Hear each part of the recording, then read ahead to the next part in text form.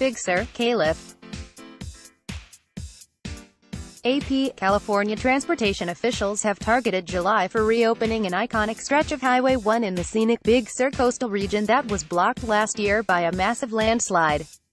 The road that connects Los Angeles to San Francisco was projected to open in mid-September but the California Department of Transportation announced Tuesday it will open to all travelers by the end of July. Rebuilding Highway 1 and restoring traffic along the Big Sur coast has been our priority and by opening the highway sooner than expected, it will boost the many Central Coast communities affected by this major landslide, said Richard Rosales, an acting district director.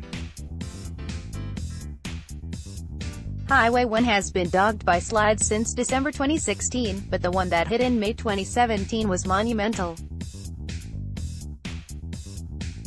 Millions of tons of earth moved displacing 75 acres 30 hectares of land.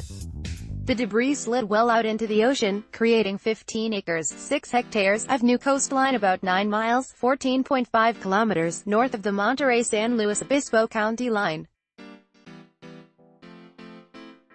The Transportation Department has since been working to stabilize the slide to rebuild the highway over it.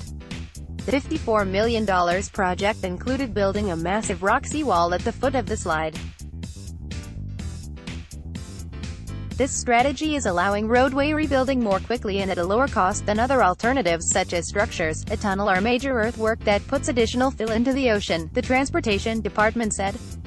The work is being done about 25 miles 40 kilometers south of where another segment of the highway was blocked when a storm-spawned landslide wrecked a bridge in early 2017. Last October, a replacement span designed without support columns was opened that could be vulnerable to future slides. Copyright 2018 The Associated Press